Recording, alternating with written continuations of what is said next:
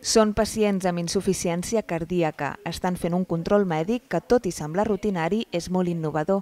Forma part d'un programa especial de l'Hospital del Mar que ha demostrat uns grans resultats. Ha reduït la mortalitat en un 12% i les rehospitalitzacions en un 43%.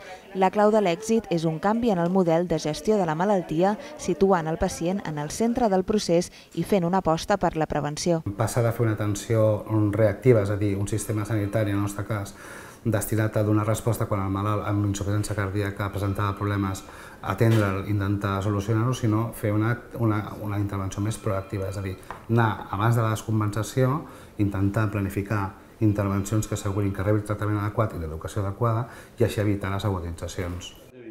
¿No se ha vuelto a ahogar desde entonces? No, no, no, no.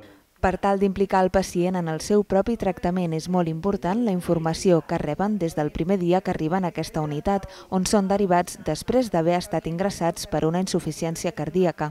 Me encontraba mal. Me asfixiaba, me cansaba de todo. Bon dia, Jordi.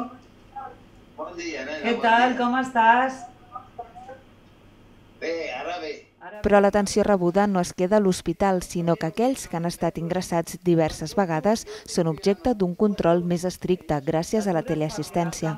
Se'ls instal·la un dispositiu a casa eh, que bueno, consta d'una pantalla, una tablet, vale? un tensiòmetre i una bàscula que estan connectats a la tablet a través de Bluetooth. La idea és que els pacients cada dia eh, es pesin i es prenguin l'atenció perquè s'acostumin una miqueta a, a cuidar-se, no? entre cometes, a tindre un bon nivell d'autocura.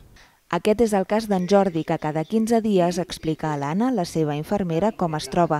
Està pendent de cada possible símptoma d'empitjorament és de vital importància en una malaltia amb una mortalitat superior a la majoria dels càncers més freqüents.